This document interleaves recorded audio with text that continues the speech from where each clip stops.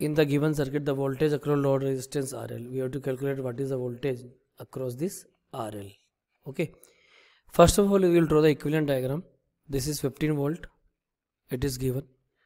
If it is the diode of the germanium then we all know very well that cut-in voltage is known as the 0.3 voltage. Then silicon again we know cut-in voltage is 0.7 volt. Then it is 1.5 kilo ohm और यहाँ पे क्या दे रखा आपको? 2.5 kilo Om. And so सबसे पहले आपको क्या निकालना सर्किट में करंट लेट ऐसे the current I is flowing like this तो मैं यहाँ से क्रिचऑफ लगा लगा रहा हूँ। 15 minus zero point three positive से negative minus zero point seven minus I into R ये दोनों सीरीज़ में है। 1.5 और 2.5 कितना हो गया? 4 kilo ohm. 4 kilo ohm is 4000 ohm.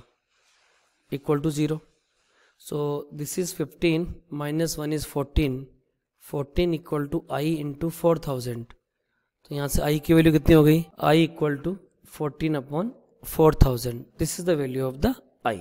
Okay ना आपको निकालना वोल्टेज अक्रॉस 2.5 तो v equal to I into R I कितना हो गया आपका? 14 अपॉन फोर थाउज़ेंड और आर की वैल्यू कितनी है? 2.5 किलो ओम, यानी 2.5 point five into one thousand तो three zero cancel like this so again you will say 14 into 2.5 divided by 4 so we will calculate it just a second we can use the calculator here so calculation is 8.75 volt तो right answer this problem is option one that is 8.75 volt तो वापस मैं repeat कर रहा हूँ please इसको remember ज़रूर कीजिएगा जर्मेनो का कटिंग वोल्टेज 0.3 और सिलिकॉन का कितना है 0.7 ये चीज़ तो आपको लर्न करनी है